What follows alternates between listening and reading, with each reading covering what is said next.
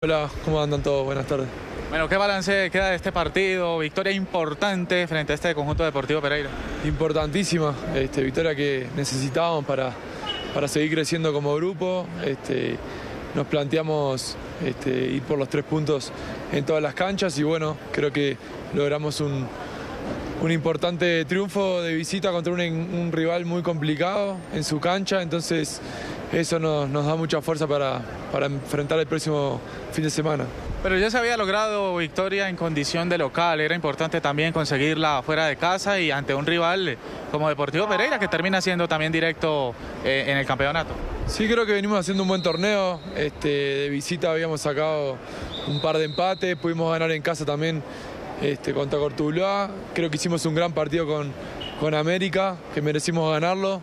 Eh, no se nos pudo dar, entonces venimos a recuperar esos puntos que perdimos en casa y por suerte se nos dio este, ayer en la noche, así que contentos. Bueno, precisamente, ¿no? Ese partido contra América, ¿se había quizás eh, podido haber logrado un poco más? Sí, sí, estoy convencido de que hicimos un, un gran partido, creo que fue nuestro mejor partido en el torneo y, y generamos muchísimas ocasiones de gol. Creo que, que, merecimos ganarlo, pero bueno, esto es fútbol y, y se trata de, de, de, hacer los goles y bueno, no pudimos convertirlos y, y, bueno, como te digo, pudimos recuperar esos puntos que perdimos en casa ayer contra Pereira. Bueno, ahora se viene una semana para seguir eh, corrigiendo aquellos errores que se vienen presentando, ¿no? Sí, claro, ahora tenemos una semanita larga, este, un par de días para, para descansar, estar con la familia y recuperar fuerzas para un, un rival durísimo que se nos, se nos viene en casa contra, contra el Tolima, pero vamos a estar eh, fuertes con, con, nuestra gente, así que prepararlo de la mejor manera y, y lograr otros tres puntos.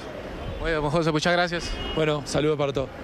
José Baja, de defensa del conjunto independiente Santa Fe, que por supuesto viene de lograr esta importante victoria en territorio matecaña y que, como ya lo mencionaba, se alista una semana larga para poder enfrentar al Deportes Tolima.